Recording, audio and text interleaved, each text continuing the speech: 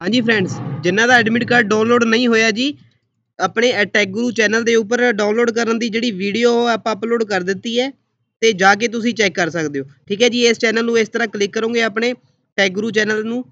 ਠੀਕ ਹੈ ਜੀ ਟੈਗ ਗੁਰੂ ਚੈਨਲ ਤੇ ਕਲਿੱਕ ਕਰਨ ਦੇ ਬਾਅਦ ਦੇਖੋ ਜੀ, ਪਹਿਲੀ ਵੀਡੀਓ ਹੈ ਜਿਹੜੀ ਐਗਜ਼ਾਮ ਸੈਂਟਰ ਲਿਸਟ ਆਊਟ ਦੀ ਆਪਣੇ ਟੈਗ ਗੁਰੂ ਚੈਨਲ ਤੇ ਪਈ ਹੈ। ਵੀਡੀਓ ਨੂੰ ਵੱਧ ਤੋਂ ਵੱਧ ਸ਼ੇਅਰ ਕਰ ਦਿਓ ਚੈਨਲ ਨੂੰ ਸਬਸਕ੍ਰਾਈਬ ਕਰਕੇ ਤੇ ਅਗਰ ਕੋਈ ਦਿੱਕਤ ਆਉਂਦੀ ਹੈ ਤਾਂ ਕਮੈਂਟ ਜ਼ਰੂਰ ਕਰ ਦਿਓ। ਜਿਹੜਾ ਤਰੀਕਾ ਦੱਸਿਆ ਉਸੇ ਤਰੀਕੇ ਨਾਲ ਹੀ ਡਾਊਨਲੋਡ ਕਰਿਓ। ਠੀਕ ਹੈ ਜੀ, ਕੋਈ ਦਿੱਕਤ ਨਹੀਂ ਆਊਗੀ।